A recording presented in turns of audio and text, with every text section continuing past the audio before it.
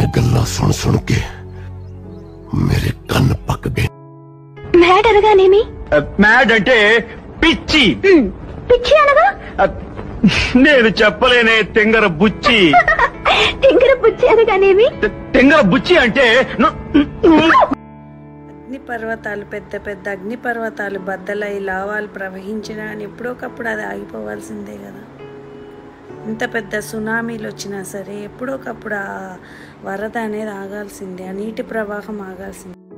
ప్రధానమంత్రి జీవన్ జ్యోతి పథకం central government ఇస్తుంది ఇది. మీకు తెలిసిన వారు ఎవరైనా చనిపోయి ఉంటే వారి పాస్బుక్ అకౌంట్ చూడండి ఇమీడియట్గా ఫ్యామిలీ మెంబర్స్ని అడగండి. మూడు వందల ముప్పై రూపాయలు కనుక డెబిట్ అయి ఉంటే కట్ అయి ఉంటే ఫ్రెండ్స్ ఇన్స్టాలో చేయాలి సాంగ్స్ చేయాలంటే పిచ్చి పాటలే చేయక్కర్లా. కనుమరుగైపోతున్న పాత ఆపాత మధురమైన పాటల్ని కూడా ఇక్కడికి ఇన్స్టాలోకి తీసుకొద్దాం అనుకుంటున్నాను. బోల్డ్ అన్ని మంచి మంచి సాంగ్స్ని తీసుకొద్దాం అనుకుంటున్నాను. అదే ఎప్పుడు పడితే వాడు రావడానికి ఎప్పుడు పడితే అప్పుడు పోవడానికి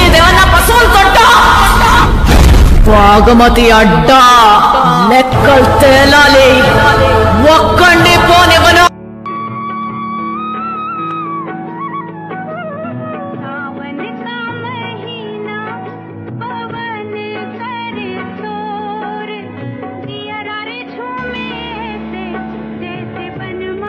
రోజు ఒక పదిహేను నిమిషాలు ఎండలో కూర్చోండి. అది ఎప్పుడంటే ఎయిట్ టు లెవెన్. ఎందుకంటే వైటమిన్ డి అనేది తగ్గకుండా చక్కగా ఇమ్యూనిటీ లెవెల్స్ పెంచుకోవడానికి ఆ టైంలోనే మనకి వైటమిన్ డి బాగా స్కిన్ ఎక్స్ట్రాక్ట్ చేస్తుంది కాబట్టి ఆ టైంలో. తర్వాత సి విటమిన్ ఇచ్చే ఫస్ట్ వేవ్ కోవిడ్లోనేమో సింగిల్ మాస్క్ మనం ఇట్లా పెట్టుకొని క్యాండిల్ ఉత్తే ఆరిపోకూడదు. అలాంటి మాస్క్ పనిచేస్తుంది. సెకండ్ వేవ్కి వచ్చేసరికి అది మార్చుకుంది. మనం రెండు వాడాలి. రెండు మాస్కులు నిత్యావసర వస్తువులకి బయటకు వెళ్ళినప్పుడు రెండు మాస్క్ అబ్బాయికి బాదం పాలు పట్టావా? పట్టాను. ఆరున్నరకి మినపగుడం పెట్టావా? పెట్టానండి. ఏడు గంటలకు మరి. పెట్టానండి. ఏడు గంటలకు పిస్తా పప్పు పెట్టాను. ఏడున్నరకు ఒళ్ళంతా వెన్నపూస పట్టించాను. ఎనిమిది గంటలకు పైనాపిల్ జ్యూస్ ఇచ్చాను. ఇదిగా ఎనిమిదిన్నరకు చపాతి చపాతి. చాలా మందికి ఉన్న డౌట్ ఏంటంటే మనం ఎక్కడ ఫుడ్ తీసుకుంటే ఏ హోటల్లో తింటే లేకపోతే ఎక్కడ ఫుడ్ ఆర్డర్ చేసుకుంటే ఇలాంటి టైంలో ఒకవేళ తినాలనిపిస్తే మంచిది. ఆ, ఫుడ్ కంటామినేషన్ లేకుండా నిల్వ ఫుడ్ లేకుండా ఎక్కడ అమ్ముతారు అంటే నేను ఒక సలహా ఇస్తా అండి. సంబంధం లేకుండా ఒకదానికొకటి నీకు నచ్చినట్టు చెప్తే మాత్రం తను. ఆటలాడుకుంటున్నారా పెళ్ళంటే? ఒక్కసారి లేచి ఎడంచొత్తు ఒకటి ఇచ్చాననుకో మొత్తం రివైండ్ అవుతుంది. హలో ఫ్రెండ్స్ మనం ఎన్ని కలర్స్ చూడగలుగుతాం? మన ఐ తోటి అంటే హండ్రెడ్ మిలియన్ కలర్స్ చూడగలుగుతాం. కానీ ఇందులో కూడా డిఫరెన్స్ ఉంది. ఒక ఫీమేల్ ఐ హండ్రెడ్ మిలియన్ చూడగలిగితే ఒక మేల్ ఐ మాత్రం మగవాళ్ళు మాత్రం నైంటీ మిలియనే చూడగలుగుతారు. తినమ్మా. నీకేమన్నా పిచ్చి పట్టిందా? నిజంగా నాకు పిచ్చే పట్టింది. ఇక మీద నేను ఎవరి మొహం చూడదలుచుకోవట్లేదు. నేను మోసపోవడం మాత్రమే కాదు పరుపుడు మాత్రమే కాదు అవమానపడడం మాత్రమే కాదు. నేను ఓడిపోయాను. ఒక పని మనిషి దగ్గర నేను మనిషి చనిపోయినప్పుడు డాక్టర్స్ని తిడుతున్నారు. డాక్టర్స్ని తిట్టే ముందు వీళ్ళని కూడా తిట్టాలి. ఎవరినంటే మాస్క్స్ వేసుకుని వాళ్ళని. బయటకు వెళ్ళినప్పుడు గ్రోసరీ షాప్లో మీ పక్కనే వచ్చి నుంచుంటాడే వాడిని తిట్టాలి. సోషల్ డిస్టెన్సింగ్ తెలవని వాడిని కోవిడ్ వచ్చిన భాష రాకపోతే నీ కళ్ళు ఎన్ని భాషలైనా మాట్లాడేస్తాయి. పేరేంటి? సావిత్రి. బాగా వినిపించే పేరు అవుతుంది. పెద్ద స్టార్ అవుతావు. రంగు బదల్తే దునియా కే రంగ్ క్యూ దేఖే? జబ్ జీవన్ మే రంగ్ భరనే వాలా రంగీలా నందలాల్?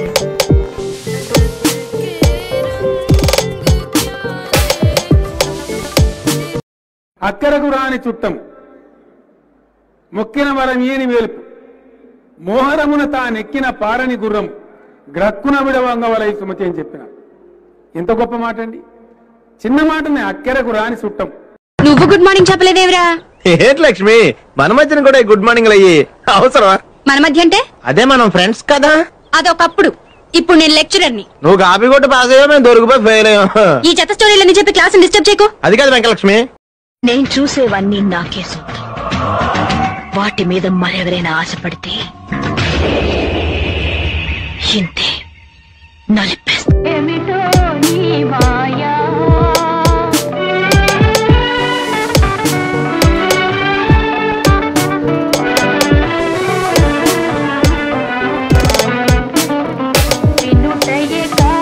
ఫ్రెండ్స్ అందమైన వాళ్ళందరూ మంచోళ్ళ.